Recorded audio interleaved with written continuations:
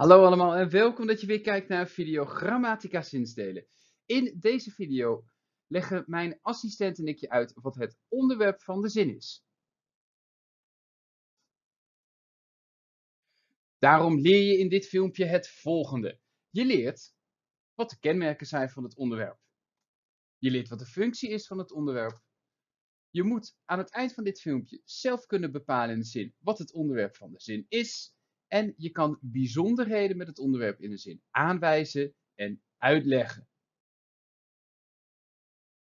Dus we beginnen met de vraag, wat is het onderwerp van de zin nou eigenlijk? Wat is dat? Het onderwerp is degene in de zin die de handeling uitvoert. Met andere woorden, het onderwerp van de zin is het zinsdeel waarin staat wat iets of iemand doet. De werkwoorden in de zin bepalen wat iemand of wat er gebeurt. Het onderwerp zegt wie dat doet. Het onderwerp en de persoonsvorm, daar hebben we het in het filmpje over de persoonsvorm ook over gehad, zijn met elkaar verbonden. Sterker nog, in het Nederlands geldt dat ze bijna onlosmakelijk met elkaar verbonden zijn. Die twee staan het liefst direct naast elkaar. Dat betekent dat je voor de meeste zinnen weet dat wanneer je de persoonsvorm hebt gevonden, dat je ook het onderwerp weet.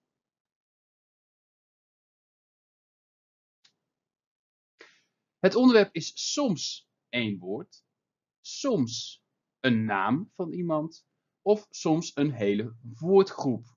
En die kunnen best wel lang worden. Je moet oppassen, want er zijn zinnen die geen onderwerp hebben. Net als met de persoonsvorm is de uitzondering hier de gebiedende wijs. Ruim je kamer eindelijk eens op. Er staat in deze zin niet wie dat opruimen nou eigenlijk moet uitvoeren. Of neem het zinnetje lekker makkelijk. Ook daar staat geen onderwerp in. Sterker nog, hier staat geen werkwoord in en überhaupt geen handeling. Maar dat onderwerp, wat doet dat dan in de zin? Het vertelt wie of wat er centraal staat in de zin. In de zin mevrouw van Dalen slaat Jantje met haar tas, weet je dat mevrouw van Dalen degene is die de handeling uitvoert. De persoonsvorm in deze zin is slaan. Dat is de handeling waar het om draait. En wie er slaat, dat is mevrouw van Dalen. En je hebt het onderwerp van de zin nodig dat moet je kunnen bepalen om te weten wie er nou degene is die iets doet. Slaat mevrouw van Dalen iemand of is Jantje degene die slaat?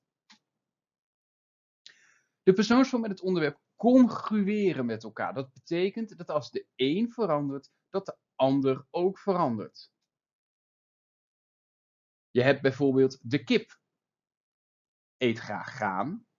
De kippen eten graag graan de persoonsvorm verandert, verandert het onderwerp mee. Of andersom, als het onderwerp verandert, moet ook de persoonsvorm veranderen. In andere talen noemen ze het onderwerp het subject.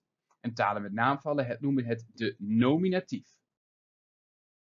Nu je weet wat het onderwerp van de zin is en wat de functie van het onderwerp in de zin is, is het belangrijk dat je leert hoe je het onderwerp kan vinden. En er zijn verschillende manieren om te ontdekken wat het onderwerp van de zin is. De meest gebruikte optie is de geëikte vraag wie of wat plus persoonsvorm. Een voorbeeld, Holly eet graag graan. De persoonsvorm in deze zin is eet. Wie eet? Holly. En voor de oplettende kijker, uh, dit zijn mijn kipjes en Holly is dat zwarte kipje achteraan. Een andere manier om te bepalen wat, het onderwerp van de zin is, is door de persoonsvorm te veranderen. Het onderwerp moet dan mee veranderen.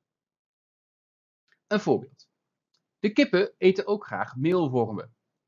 Als je de persoonsvorm verandert van getal, dus je verandert het meervoud in het enkelvoud, krijg je het zinnetje kippen eet ook graag meelwormen. Dat kan niet. Dat wordt dan de kip eet ook graag meelwormen. Je ziet dat als de persoonsvorm verandert, dat het onderwerp mee moet veranderen. En in de meeste zinnen kan je dat uit jezelf. Het herkennen van het onderwerp gaat niet altijd even makkelijk. Er zijn een paar situaties waarbij het onderwerp zich niet zo makkelijk laat herkennen als we graag zouden willen. Kijk bijvoorbeeld dus mee naar deze eerste zinnen. Het spookte in dat oude huis. Of het lekt in de kelder. Het is in deze zinnen niet precies duidelijk wie iets doet. Grammaticaal gezien is het woordje het in beide zinnen de persoonsvorm. Maar dat is niet een wie of een wat. Wat er lekt, of wie er lekt, of wat of wie er spookt, dat is niet duidelijk. Dat woordje het noemen we dan ook wel een loos onderwerp. Hoef je niet te onthouden. Het gaat erom dat je weet dat dit het onderwerp is. In andere zinnen krijg je het ook voor elkaar dat onderwerp en persoonsvorm toch niet naast elkaar staan. Kijk nou mee naar dit zinnetje. Gisteravond stond er een agent voor de deur. De persoonsvorm is het woordje stond. Wie er staat is een agent. Onderwerp en persoonsvorm staan dus meestal naast elkaar, maar niet altijd. Het is zaak dat je heel goed kijkt wie de handeling nou eigenlijk uitvoert. Een derde lastig geval uh, vinden we in deze zinnen. Er zijn zinnen met een onderwerp dat geen getal uitdrukt. De persoonsvorm in deze eerste zin is het woordje is. Wat is? Er is. Het woordje er zegt niet of zegt heel veel, maar geeft geen getal. Net als in die tweede zin. Er mag hier niet gedanst worden. Wat mag? Er niet. Het woordje er is het onderwerp van de zin, maar drukt geen getal uit. Je weet niet of het een enkelvoud is of een meervoud, of dat het een persoon of een ding is die het doet. Dus daar moet je ook op letten wanneer je het onderwerp van de zin probeert te bepalen.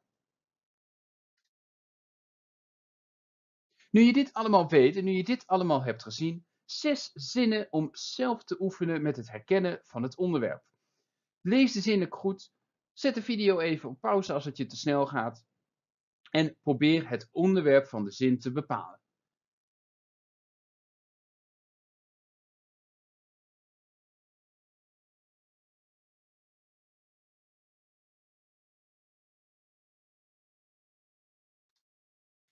In zin 1. Eh, de persoonsvorm is het woordje is. Wat is er gebeurd? Wie doet er iets? De olieprijs is hier gestegen. Der Tod der Cleopatra is het onderwerp van de tweede zin. Dat schilderij is geschilderd. Dat schilderij doet zelf niet iets, maar is wel het onderwerp van de zin. Um, in zin 3 is die zanger van het levenslied degene die zingt. In zin 4 wordt gevraagd waar die jongen het lef vandaan haalt. Dus het onderwerp van die zin is die jongen. Uh, in zin 5 zijn de auteurs die een blackout moeten hebben gehad. En in zin 6 wilden zij hun fout niet toegeven. Als jij dit wist en als jij deze allemaal goed had, krijg jij van mijn assistent een high five.